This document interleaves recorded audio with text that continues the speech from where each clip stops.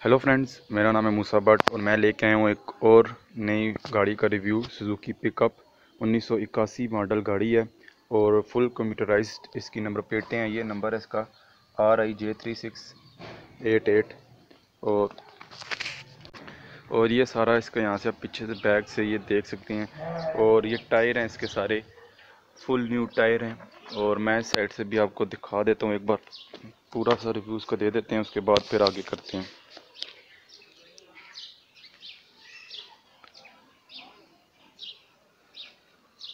तो अभी गाड़ी थोड़ी गंदी हुई है क्योंकि ये अभी जो है चला के आए हुए हैं तो इस वजह से थोड़ी आप लोगों को जो है वो गंदी दिख रही होगी।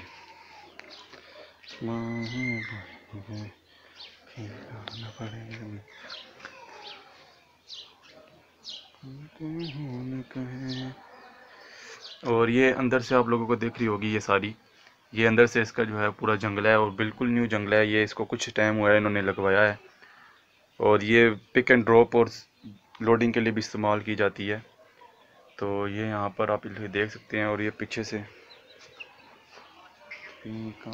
और ये यहाँ से आप लोग इसको देख सकते हैं। इसको अंदर से भी आप लोगों को दिखाऊँगा।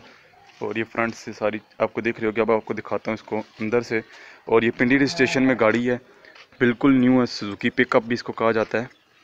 और मैं भी यहाँ से तो फ्रेंड्स ये भी आपको अंदर से दिखाते हैं। ये आपको यहाँ से पहले दिखा दें साइड से। इसके डोर फ्रंट डोर है ये।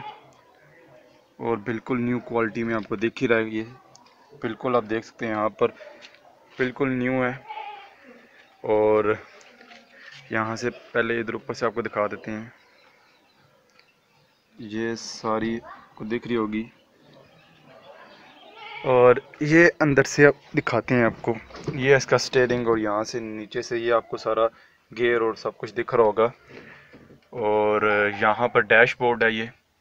और ये ऊपर से आपको पट्टी दिख रही होगी ये सारी। ये सारी पट्टी है इसकी, ये यहाँ से, ये।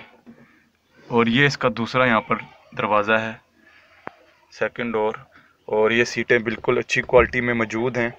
ये आप देख सकते हैं यहाँ पर बिल्कुल फ़र्स्ट एक क्वालिटी में सीटें मौजूद हैं। और ये पिंडी रजिस्ट्रेशन में गाड़ी है। और अगर आप लोगों ने ये गाड़ी को बाय करना है तो आप लोग जो है वो डिस्क्रिप्शन में नंबर दिया होगा कॉन्टैक्ट कर लें। डेढ़ लाख इसकी डिमांड है और अगर आप मेरे थ्रू करते हैं तो आपको लाख तक जो है ये रिज़नेबल प्राइस में जो है मिल जाएगी। तो होपफुली कि ये वीडियो भी आप लोगों को पसंद आएगी। तो मिलेंगे आपसे अगली किसी और रिव्यू की वीडियो में, तब तक के लिए हमें इजाज़त दीजिए। अल्लाह हाफिज़।